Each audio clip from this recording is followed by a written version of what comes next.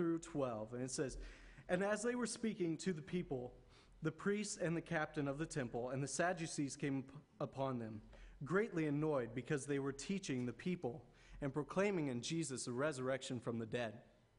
And as and they arrested them and put them in custody until the next day, for it was already evening. But many of those who had heard the word believed, and the number of the men came to about 5,000. On the next day, their rulers and elders and scribes gathered together in Jerusalem with Annas the high priest, and Caiaphas, and John and Alexander, and all who were of the high priestly family. And when they had set them in the midst, they inquired, By what power or by what name did you do this? Then Peter, filled with the Holy Spirit, said to them, Rulers of the people and elders, if we are being examined today concerning a good deed done to a crippled man, by what means this man has been healed? Let it be known to all of you and all the people of Israel that by the name of Jesus Christ of Nazareth, whom you crucified, whom God raised from the dead, by him this man is standing before you well. This Jesus is the stone that was rejected by you, the builders, which had come, which has become the cornerstone.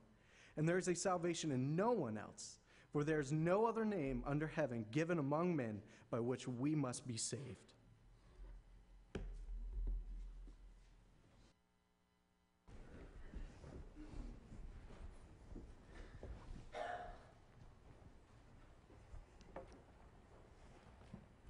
Amen.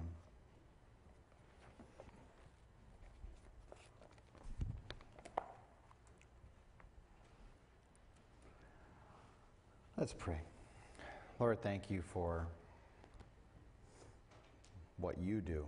And uh, so we ask you today, as we're working through this story together, that the inspired Word of God would impact lives and illumination would go on truth would be known, revelation would be understood. So thank you for it, and ask you, I ask you, God, right now to do your work in each of our hearts and lives. In Jesus' name, amen. I don't know um, what your ultimate goal is. If I were to spend a little bit of time talking with you, probably after a while, we, I'd start to find out some of the things that you value, some of the things that you would hold to as dear. And it's it's all good. I mean, I think about some of the stuff that if you were to spend a lot of time with me, you'd go, oh, he values that. That's important to him. He talks about that a lot. And, um, and it isn't necessarily a bad thing. It, it could be a bunch of things that are just amoral, that just I'm talking about, and after a while you go, you know, you talk about that a lot, it must be important to you. And I think about like your future. Think about your future. Some of you are on the cusp of something happening, and so you're thinking about that thing, that event that's going to come up, and you're, you're excited about it and, and things along the line. But I'd like you to think long term for a minute. Some of you maybe are like, I am about as long a term as I can get right now. I'm, I'm pretty late into stuff, all right? Uh, but I don't think God's ever done with us until um, the grave.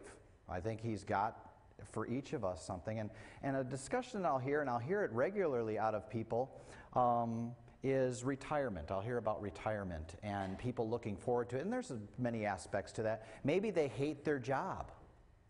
There are people that maybe you're here today and you just you hate your job and you you have a date in mind. You're you're looking down the road and you say, this date will happen and I will not have to deal with that anymore. Some of you, man, you're just tired. It's not, a, it's not that you hate your job. It's just I'm tired. All right. I, I've, um, you know, as you get older, you start to realize there are certain things. Man, I thought I could do this the rest of my days, and it, it just isn't happening. And then some of you are, are, and I think this is what I'm about to say. I think it's a good place to be. Is you've got this job and you like it, and you, you know, you ask God to use you. Where you're at.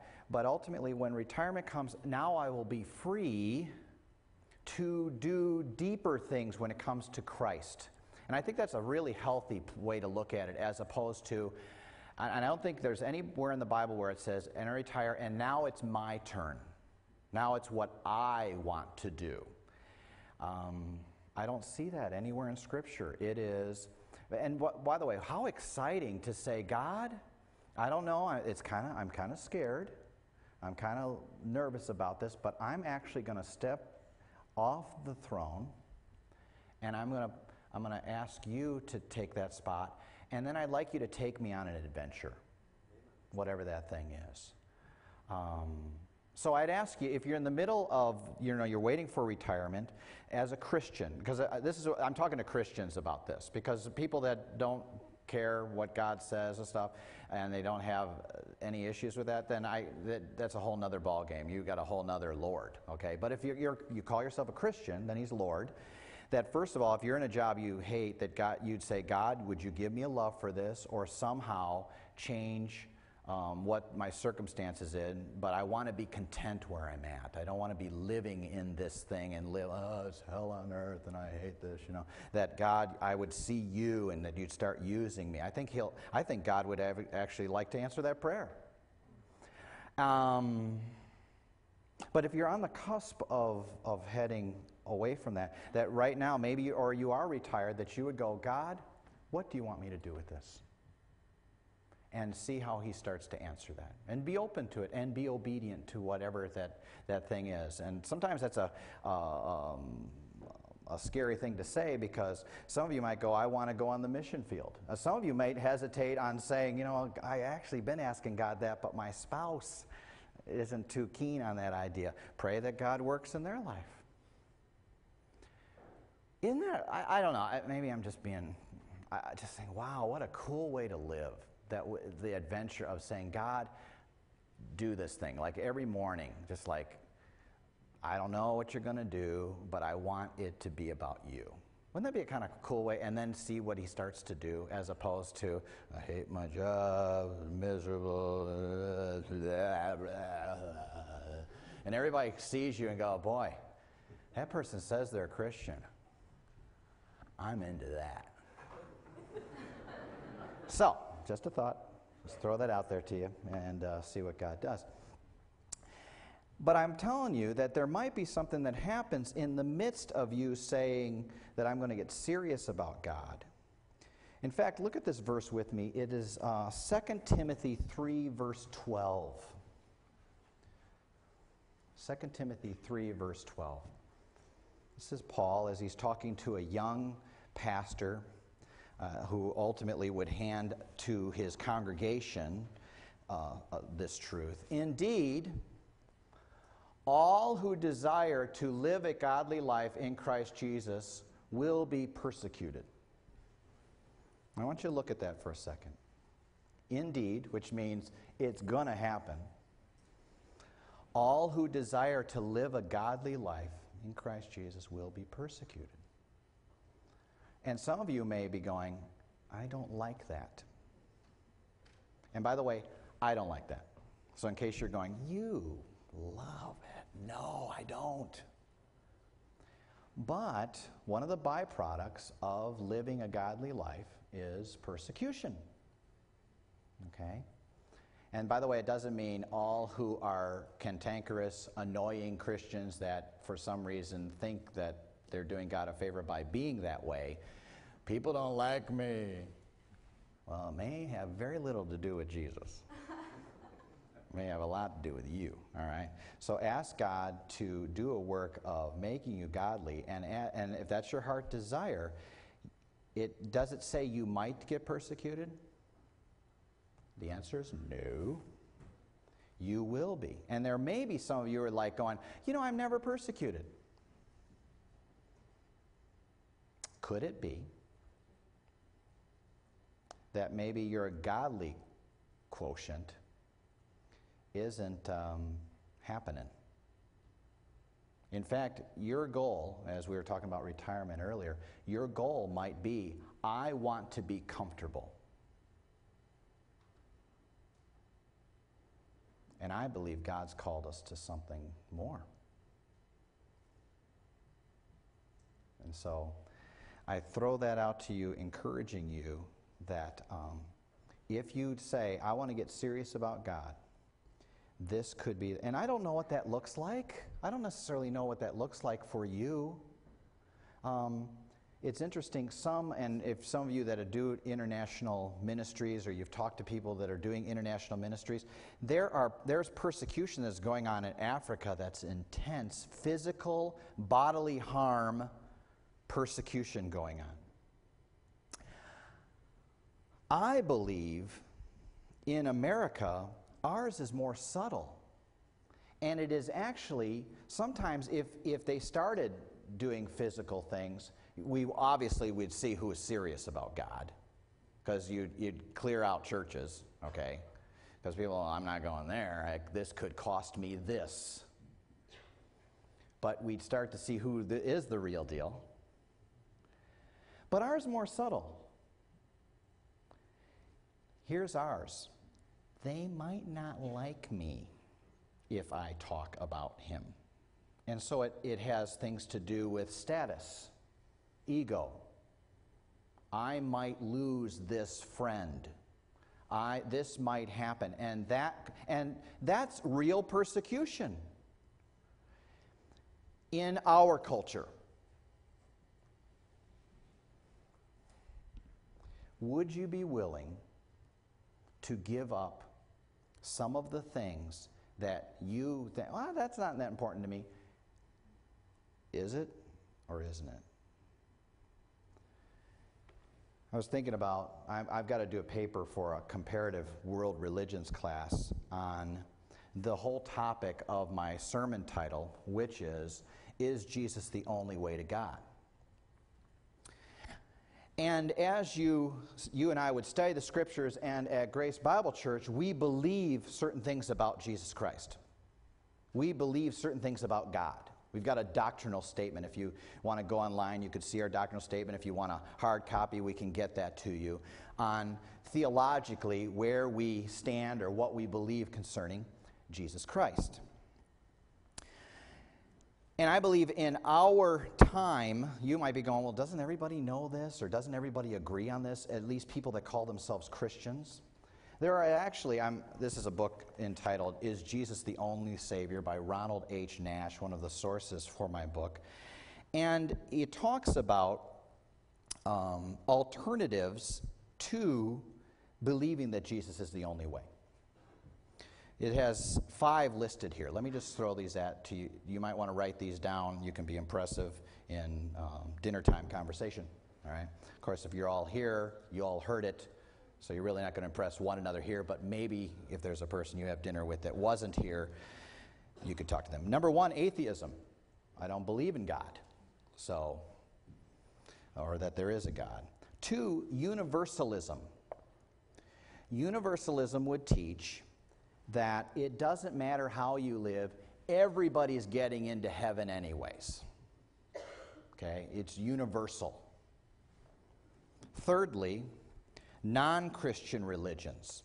These would be people that would say there are many roads to God. There's, there's been chapels built where they have a chapel like there, I heard about one that was actually built on the South Pole, if you can believe it. I know lots of attenders there, you know. But they did that in an attempt to be um, have diversity. They created this chapel, and on it they had like a cross, and then a Star of David, and then a um, uh, something that represented Buddhism, and they were saying, "We're going to build this thing, understanding that on this, on the this the axis of faith, they called it, the world turns." And it sounds noble. When you talk with people and, they, and, and you get in these conversations, it just sounds so in, inclusive. Um, number four is pluralism which would say uh, it's almost like the others, but there are many roads to God, okay? And whatever somebody picks, if they're sincere, it's all good. And some of you might go, man, a lot of these seem like they're the same thing, but I'm just telling you, this is what is out there. And then inclusivism.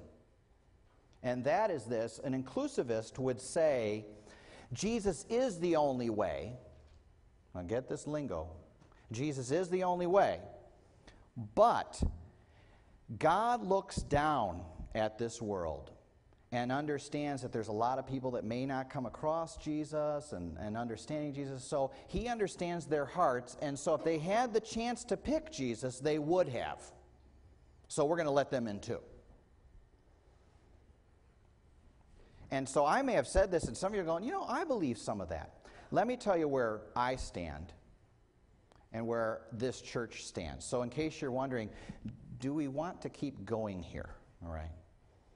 And so I'm showing you my cards. I'm not trying to trick you into keep coming here and then somehow I'll slide the gospel in. I'll, I'll, maybe if I find some sort of method that I'll, I'll say it and it won't offend you. And that, you know, Christians can have fun and we're all, you know, it's all really good and stuff. And ultimately, then maybe I'll fool you into getting saved. Here's my cards. We would be called exclusivists. Now, I, I looked up the word exclusive in the dictionary, and this is the name, by the way, that was given to this line of thinking. And, and when I was reading, I'm going, man, this doesn't sound nice. Not admitting of something else, incompatible, omitting from consideration or account limited to the object or objects designated, shutting out all others from a part or share, fashionable. Charging comparatively high prices, expensive, exclusive. And there were like 12, there was like six more. And, they, and it was basically, if I said to you, do you consider yourself exclusive? If I said that to you, there's something in us that would go, don't call me that. I don't want to come across it. That's the title for somebody that believes what I'm about to tell you.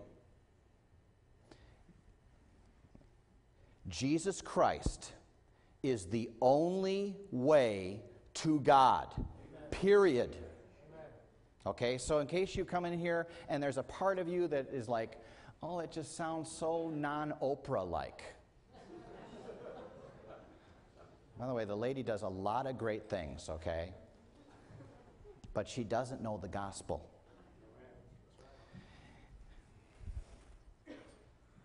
And I get it.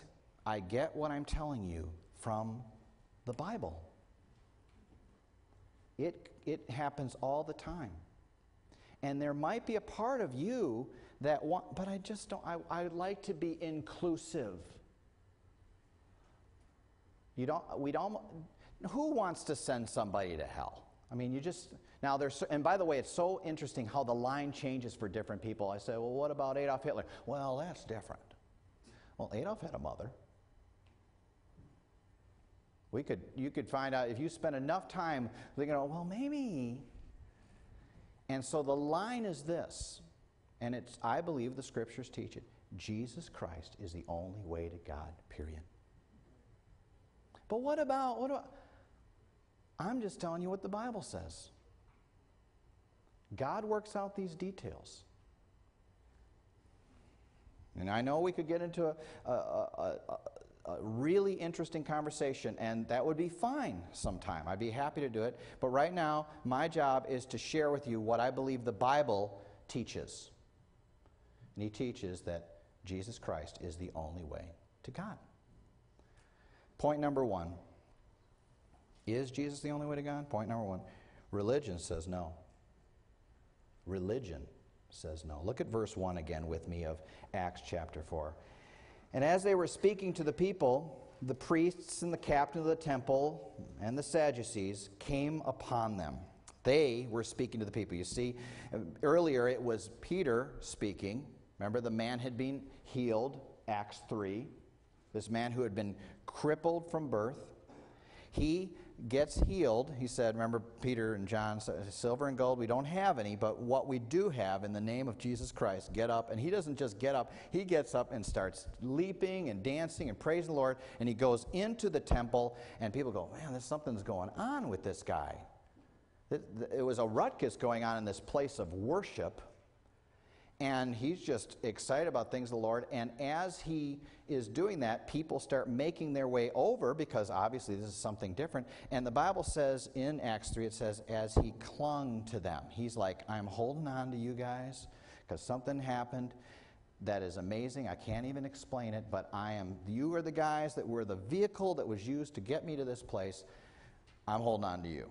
And Peter just starts sharing the truth of the gospel and the whole idea of repentance and turning our heart back to God. And so, but we get to here, Peter's not the only one speaking. Now, Peter and John, and they must be dialoguing with people back and forth. And what, what does this mean? After this healing and Peter's sermon, both, is, both are doing this with the crowd. And so they're in the middle of it. And in the middle of it, now the authorities arrive. We see there in verse 1. The priests, these were the ordinary priests that would have conducted the evening service. This group would have been on a cycle, and there was in this, in the uh, Judaism faith there, there was 24, uh, basically 24 uh, systems here, uh, one system, but 24 groups, uh, 24 parts of a group. And what would happen is your name would come up in a certain situation where you now would be the one that would be in charge. You would be the one that would be working this. So this, this ruckus is going on in the temple gate there, the, the, the porch there, Solomon's porch there, and these people are excited and, and they're like, what's going on? Now these guys show up, and there's a part of them probably that are frustrated because it's now my turn to be in charge. I finally, I've waited for this day, and this is the one day you get interesting over here. And so they, they make their way over. And so these are the priests that do that. They're, they're, things are being disrupted by these apostles and this person that has been healed.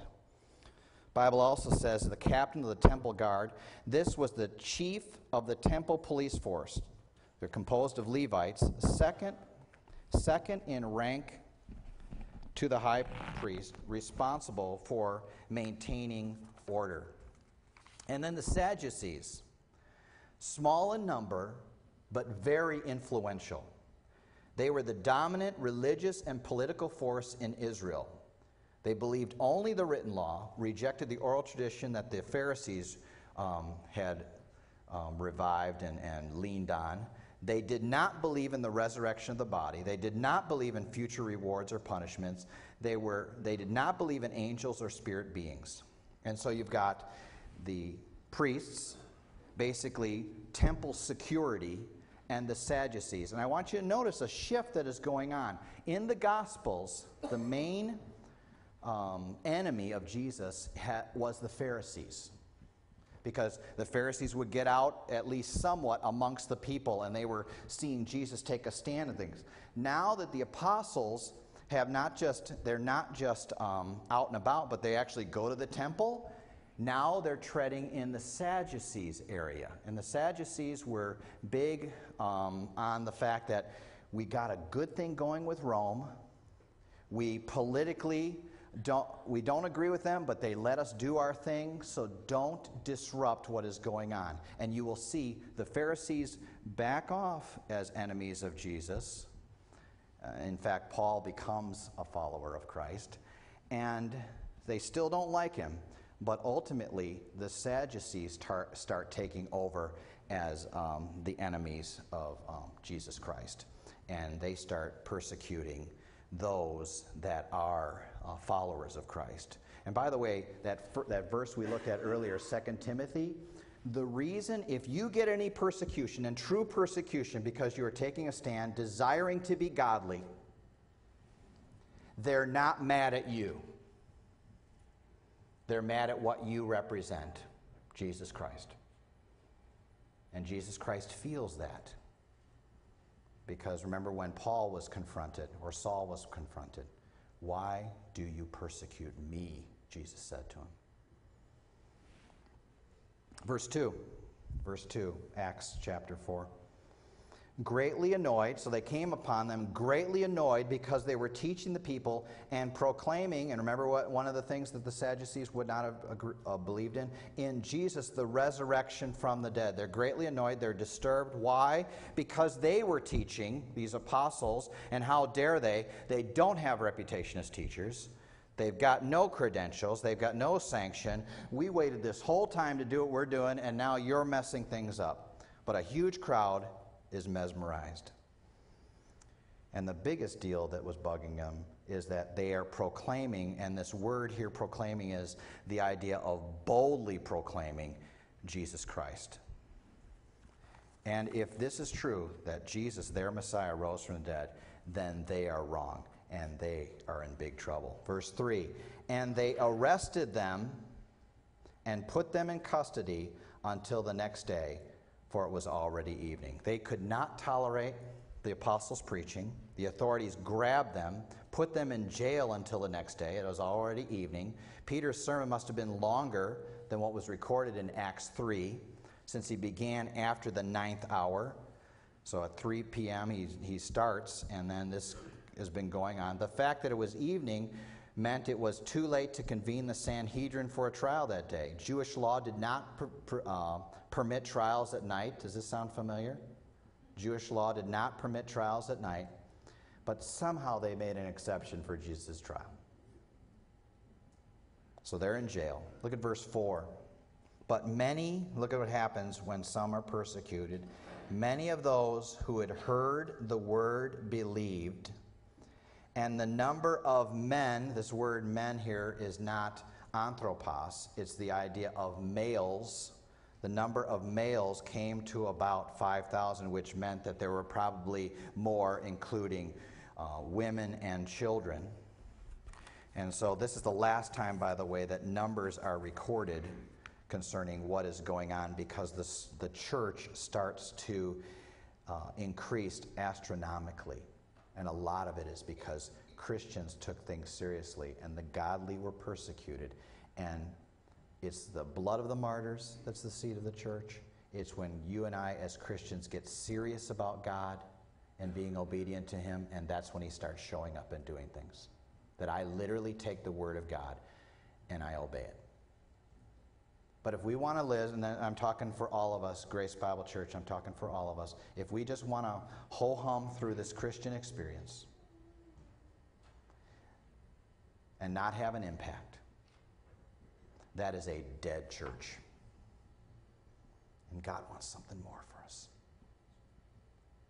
What we are willing to invest in.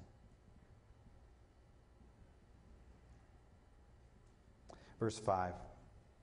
On the next day, their rulers and elders and scribes gathered together in Jerusalem. These rulers, the chief priests, the elders, the family heads and heads of tribes, the scribes, the law experts, mostly Pharisees.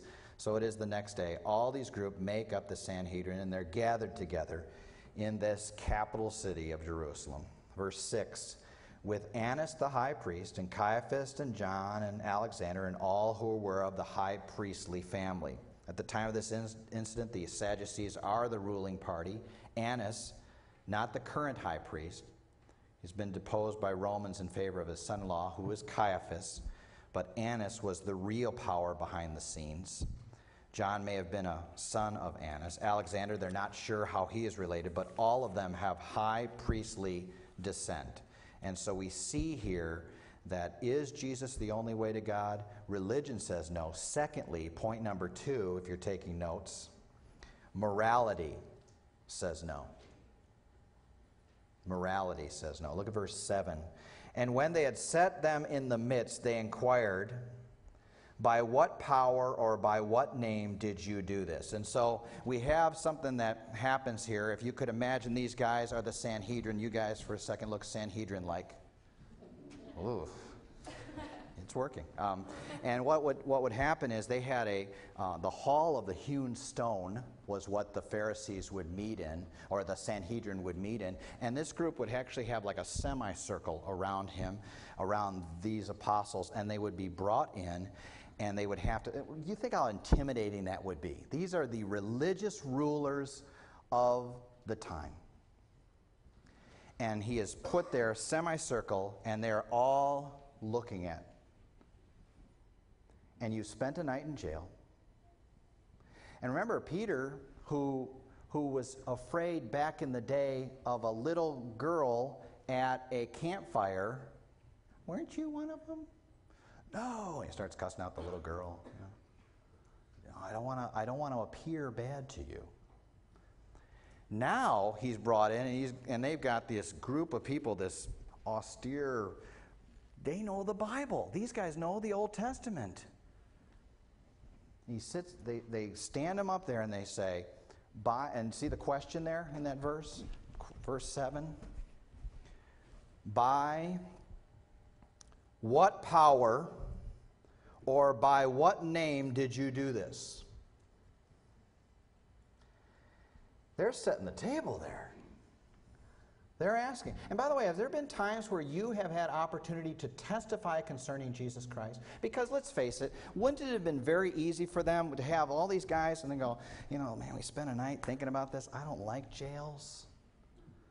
We're around these people. These are religious people, these are good people. It'd been so tempting for them to go and, and slide away kind of skirt the issue. And what if they had done that? What would we be looking like right now? It was because men and women took a stand that we're blessed now. So, has there ever been a time where you were put in a situation and it was, it was as much as like a little girl at a campfire? Did you skirt the issue? Could I encourage you today? From this day on, speak the truth. Amen.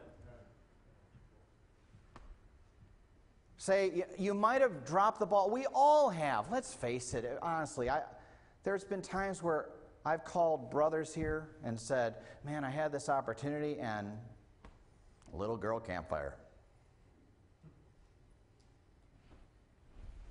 God, I want to speak the truth. I want to, and, and I don't want to be obnoxious because you, did you notice this? They didn't fight. They were arrested. That you didn't hear about them going, and they were kicking and screaming. It was like an issue of cops. They had their shirt off, and they were. They, these, they just responded to the authority that was given, that was above them. So the opportunity comes, and now they're, they're, they're put before this authority, and a question is asked in what name? A name is huge. It represents character and existence and, existence and reputation and ultimately authority. By what authority did you do this? Verse 8. Then Peter, look at this, and this is the key. Then Peter, filled with the Holy Spirit, said to them, Rulers of the people and elders, Jesus said this is going to happen. There are going to be times where you're going to be put on the spot, and here's what you can do. Luke 12, 11 and 12. Luke 11, 12. And when they bring you before the synagogues, Jesus knew this would happen. And the rulers and authorities, do not be anxious about how you should defend yourself or what you should say, for the Holy Spirit will teach you in that very hour what you ought to say. Believe that He'll show up. Study His Word, pray, but there's going to be times you're going to be put, and the, the filling of the Holy Spirit is the key. Ephesians 5 18. And do not get drunk with wine, for that is debauchery, but be filled with the Spirit. Colossians 3 16. Let the word of Christ dwell in you richly, teaching and admonishing one another in all wisdom, singing psalms and hymns and spiritual songs with thanksgiving in your hearts to God. This is the response of a person that is yielding themselves to the word and the Spirit. They still address them with respect, calling them by the titles they had been given. Verse 9. If we are examined today, look what he, I love how he puts this. If we are examined today concerning a good deed done to a crippled man, by what means this man has been healed. Okay, could you imagine they're in, they're in front of him? They said, So let me get this straight. We got arrested because we did a good thing. Exhibit A, crippled guy that can walk now? This is the thing you guys are worked up about? I mean, you, the, the, the lunacy of it. Let me get this straight. This is the thing. Lastly, point number three Scripture says yes. Verse 10, almost done here.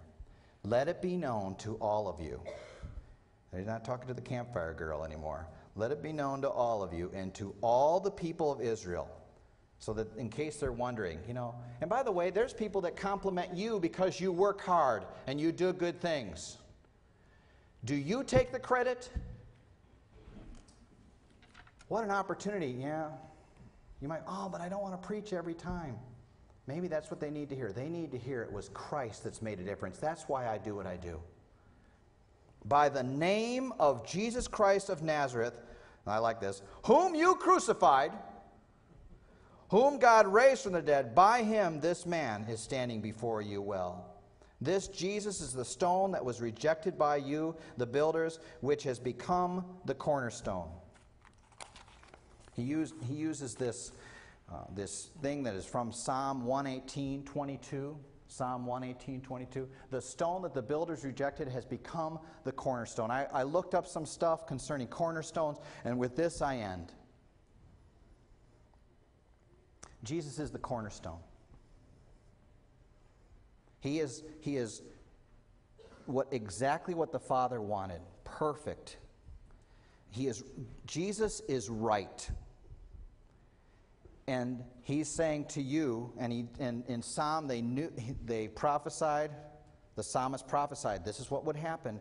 God would provide the perfect cornerstone for what he wanted to do in the nation of Israel and they rejected. They said, you know what? That just doesn't have the character we want. We want something with character. And so we will reject that. And there's a lot of false messiahs that will come along. And people will build their house on that. The problem with building our house, any of us, and I, you know, cornerstones for nowadays are more this thing that they symbolically, you know, carve out maybe the year. And so it isn't necessarily what, what it was back in the day where it was a cornerstone that started, and from there, everything was plumbed perfectly so that a building that was built would stand. Now it's kind of like a, a thing that's, you know, people, you have a, like a dignitary come and everybody's clapping, and it's so great. And they take that thing, and it usually isn't even in the corner. It's just something that they stick into a wall and they put mortar around and stuff. It's great, okay? But it really isn't the cornerstone. But Jesus says to you and me, and He wants this for your life and mine. He wants to be the cornerstone because He knows that if He's the cornerstone, not your wife, not your husband, not your kids, not your hobby, not your stuff, not your job, He's the cornerstone that ultimately, when I build off of that, this thing is going to stand. But some of us are substituting something, and we go, it kind of, it, it'll work, and you wonder why our house ain't standing. I know you might be here today, and you say, yeah, but Jesus is the cornerstone. Is he? That's what we want for Grace Bible Church, and that's what we want for our lives. And maybe today something needs to start with that, where you say, You know, God, you haven't been that. And I'd like you to do some remodeling. I'd like to, to say to you that I want you to be the cornerstone of my life. And then ultimately, when we come to this exclusive statement, Acts 4 12, and there is salvation. And it's so interesting that God doesn't want us to miss this. He says, There is salvation in no one else, for there is, because he could have just, for there's, you know, this is it. He says, For there is no other name under heaven given among men by which we must be saved. So we're, we're going to keep telling you if you come here, Jesus Christ is the only one who saves, and he's the only one that doesn't just save, as it were, spiritually from your sins. He's the only one that saves when it comes to your house built, being built. And you might be going, yeah, but this thing, it, it, it's, it's kind of close to Jesus. It isn't the cornerstone. And for a long time, you've allowed something else to be the cornerstone in your life. And I want to encourage you today to say to Jesus Christ. If you've never by faith received Jesus, to start out that way.